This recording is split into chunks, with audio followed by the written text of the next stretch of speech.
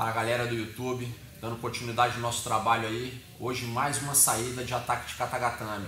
Quem tem acompanhado o nosso trabalho, semana passada uma saída, essa semana agora uma nova alternativa aí para sair dessa posição desconfortável. Espero que vocês gostem. Os.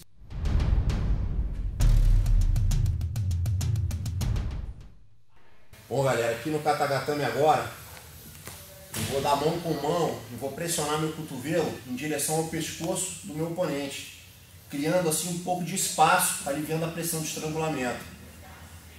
Vou rodar por cima do meu ombro e quando eu bater lá na frente eu já vou retirando meu braço de dentro da chave, de dentro do estrangulamento.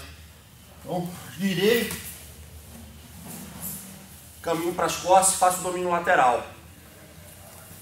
Bom, galera, aqui foi mais uma vez o professor Ivan Dumont apertando meu pescoço, responsável pelas nossas turmas de terça e quinta à noite, na Academia MMA Capital. Espero que vocês tenham gostado dessa posição. Quem não viu a posição da semana passada foi uma outra saída de Katagatame. E não perca a posição da próxima semana. Grande abraço. Os.